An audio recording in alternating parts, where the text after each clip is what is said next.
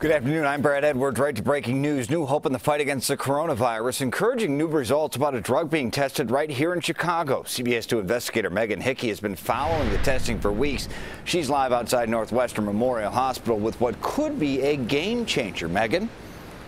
Right, Brad, a, a game changer because COVID 19 could soon have an approved treatment. 34 participants in this landmark study were treated right here in Chicago.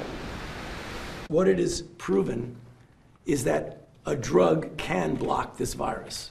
Dr. Anthony Fauci is talking about remdesivir, the antiviral drug involved in a worldwide study of about 75 testing sites. Two of them are here in Chicago, and we've been following the progress since the end of March. And it was almost exactly a month ago, and I know that you listed this as uh, one of the best case scenarios. It's definitely a game changer, and the, the reason it is a game changer is because now we have a treatment. Dr. Richard Novak is the principal investigator for the trial at UI Health, which had 15 patients enrolled. Dr. Babafemi Taiwo is the lead investigator for the Northwestern Medicine trial, where 19 coronavirus patients were part of the study. It is a glimmer of hope. It's, an, it's a very uh, exciting time. It's a promising time and, and I think it's good news for, for our patients. Both researchers were part of an emergency call last night with study investigators. Today, the announcement that patients who received remdesivir had a 31% faster time to recovery than those who received the placebo. Remdesivir patients also saw a reduced mortality rate.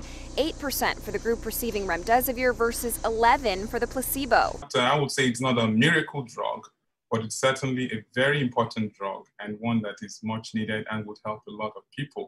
If approved by the FDA for emergency use, it would be the first drug officially approved to treat COVID 19. And experts tell me it's certainly something to smile about. There's, there's reason to be to be happy today that we finally have something to to uh, to fight back with. So what are the next steps? The FDA needs to approve this drug for emergency use, which is expected after Dr. Fauci's comments earlier today. Although we do not have a timeline, the company that makes this drug, Gilead, has been ramping up production, but they will need to continue to do so to meet demand for this drug.